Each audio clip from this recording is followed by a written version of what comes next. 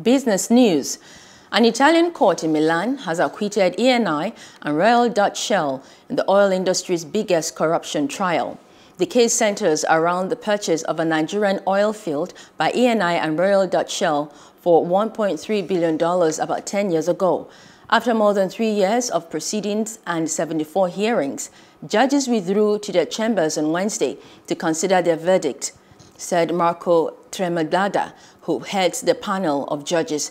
Prosecutors have called for Eni and Shell to be fined for a number of, of past and present managers from both companies, including Eni Chief Executive Claudio Descalzi, to be jailed. For more on business news, let's join Osarogie Ogbonmwan for more updates. And now in business, Nigeria has recorded its biggest foreign trade deficit since 1981, as the trade balance stood at a deficit of 7.38 trillion naira in 2020. This is according to available data obtained from the National Bureau of Statistics, NBS. According to the recent foreign trade report, total imports in the year 2020 was valued at 19.9 trillion naira, surpassing the to uh, total exports of uh, 12.92 trillion naira, indicating a trade deficit of 7.38 trillion naira. This is the second time Nigeria is recording a negative trade balance in the past 10 years. In 2016, during a similar recession as the one recorded last year, uh, Nigeria recorded a negative trade balance of 290.1 billion naira, owing to an 11.1% decline in the value of exports. However, the current trade deficit is more than 25 times higher than that recorded in 2016. Governor Udom Emmanuel of Akwa Ibom State has disclosed that the proposed fertilizer plant in the state would go a whopping $1.4 billion and engage 7,000 youths. The governor recently signed a memorandum of understanding at uh, Morocco for the commencement of the projects.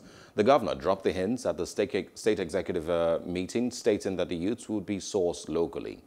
He appealed to the host communities of these projects to welcome development instead of stifling the execution of the projects.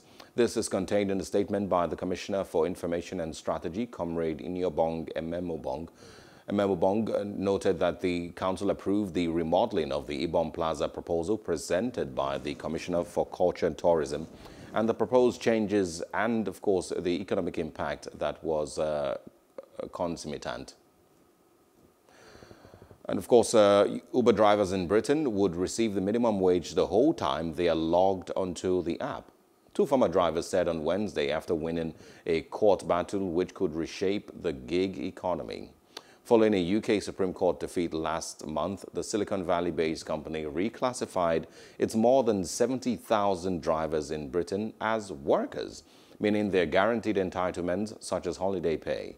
Uber said drivers will be at least 15% better off if they opt into the pension plan.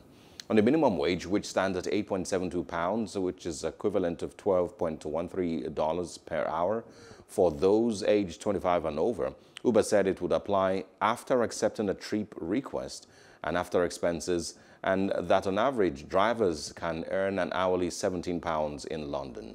Drivers will not receive it while waiting for a passenger request, which can account for as much as a third of the time drivers are behind the wheel, with the app turned on, according to several U.S. studies.